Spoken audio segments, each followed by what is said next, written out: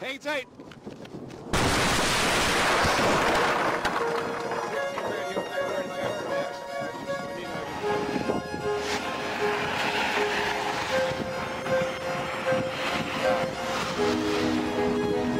Hang tight.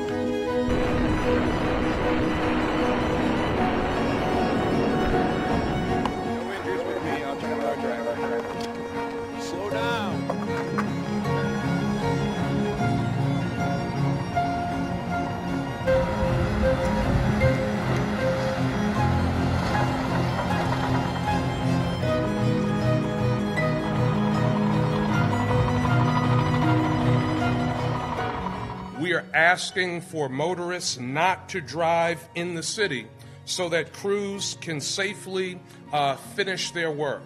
Safely for motorists and pedestrians, and safely for the crews that are working.